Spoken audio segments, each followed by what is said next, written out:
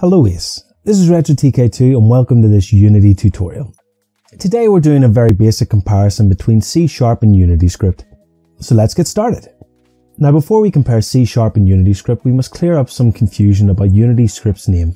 The Unity community refers to UnityScript as JavaScript and in some rare cases Java. UnityScript, JavaScript and Java are three separate programming languages Ace. Let's start with JavaScript and Java. These two always seem to trip up new developers and I also assumed Java and JavaScript were connected in some way. And who can blame us since a lot of the common C family programming languages, C, C++ and C Sharp are all influenced by each other. Well, the truth is that they are all related. If we look at this amazing programming language diagram, we see that Java is influenced by quite a number of languages, and JavaScript seems to be a direct descendant of C++, and another scripting language. JavaScript used to be called Mocha and was changed to LiveScript. In December 1995, Netscape, the company who made LiveScript, did a licensing agreement with Sun, the company that made Java, and it became JavaScript. From the JavaScript website, the JavaScript programming language is not part of the Java platform. JavaScript does not create applets or standalone applications.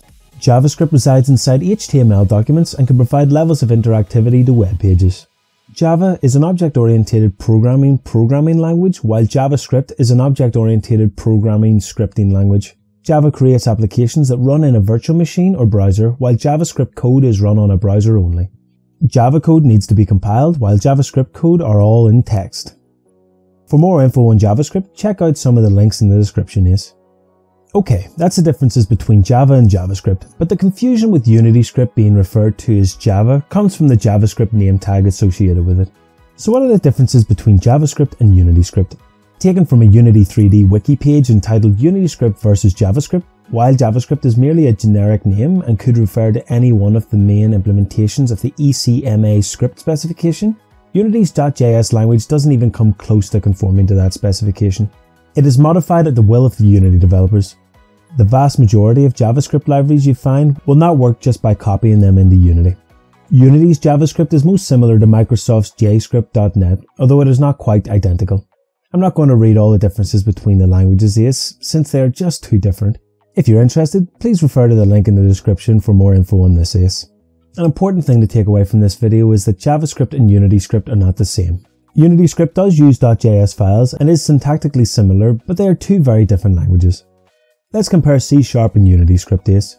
Performance seems to be a big part of this discussion, but according to several forums online, it seems that both run at a similar speed, although C Sharp compiles faster.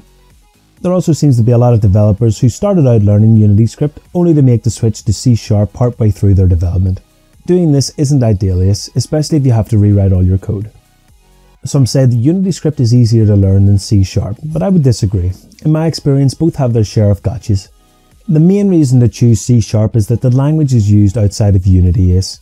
Any C Sharp code that is compatible with .NET 2.0 can be used within Unity, so long as the required libraries are imported and the code doesn't have any compiler errors. Learning C Sharp gives you the opportunity to branch out into enterprise software as C Sharp is an industry standard. There are plenty of C Sharp compatible libraries out there that can be imported to suit your purpose. In my professional opinion, C Sharp is the language of choice here, Ace. And that's it. Rate, comment and subscribe, Ace. Tell me what coding language you use. You can email me at retrotk2 at gmail.com with any other Unity discussions. Thank you for watching, Ace, and I'll see you in the next video.